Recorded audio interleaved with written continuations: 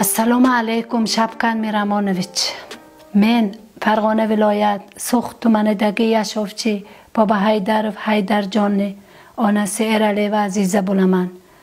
Shu yildagi 31 may kuni so'x tumanida bo'lib o'tgan voqealarda barcha xalq so'x tumani chuqur afsusdamiz.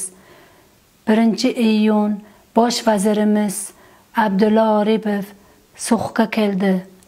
So'xga kelib xalq bilan muloqot qildi.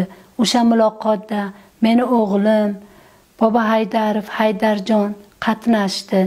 Meni o'g'lim haydarjon so'zga chiqib so'xdagi ba'zi muammolarni aytishdi. O'zi bilmasdan holda hissiyotga berilib tuman hokimini viloyat hokimini shuhrat g'aniyevni ishdan olishini taklif qilgan. 22 avgustda ertalab soat 8:30 da meni o'g'limni bobo haydarov haydarjonni ichki ishlar uyim uyimga borib o'g'limni ogohlantirishsiz olib ketishdi.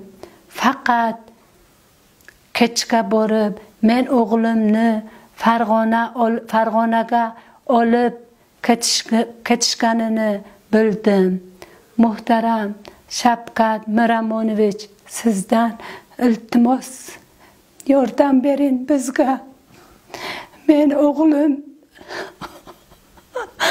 men o'g'lim bobo haydarov haydarjon endi yigirma ikkiga kirdi. Hamda sakkiz oylik o'g'li bor. Sizdan muhtaram prezident shavkat miramonovich hamda viloyat hokimidan shuhrat g'aniyevdan sizdan iltimos so'rayman kechirib so'rayman. O'z nomimdan o'z o'g'lim nomimdan o'z oilam nomimdan sizlardan kechirib so'rayman uzr so'rayman.